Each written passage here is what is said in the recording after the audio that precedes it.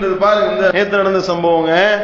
பெங்களூர்ல பிரவீன் பூஜாரின்னு சொல்லிட்டு பிஜேபியினுடைய நிர்வாகம் அவனே அடிச்சு கொண்டிருக்காங்க. மூணு மாடை வண்டியில ஏத்திருக்கலாம் மாடை வண்டியில ஏத்துனதுன்னா பசு பாதுகாப்பு இயக்கம்ன்ற பேர்ல உள்ள புகுந்து அவன் ரெண்டு பேரை போட்டு அடி அடி அடிச்சு இரும்பு கம்பியாலேயே அடிச்சிருக்காங்க.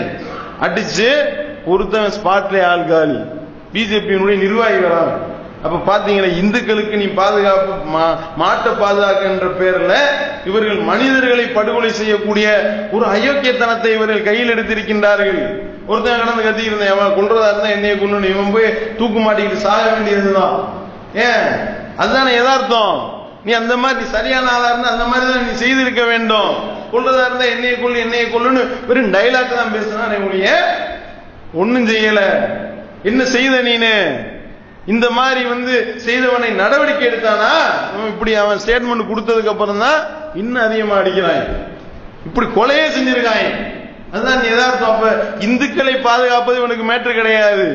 என்னத்தையா கலவரத்தை உண்டு பண்ணி இவர்கள் மாட்டின் பெயரால் அரசியல் நடத்த வேண்டும் என்பதுதான் இவர்கள் வைத்திருக்கின்றார் என்பதற்கு இந்த இவன் படுகொலை செய்யப்பட்டது ஒரு காரணம்.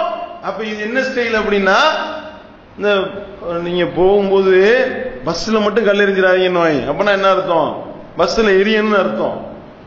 தீ வச்சு யாரையும் குளிச்சிடாதீங்கன்னுவா அப்பனா என்ன அர்த்தம்? தீ வச்சு கொளுத்துன்னு அர்த்தம். நீங்க போகும் பொழுது தெண்டவாளத்தை எல்லாம் வந்துகிட்டு பேத்துறாதீங்கன்னுவா அப்பனா என்ன அர்த்தம்?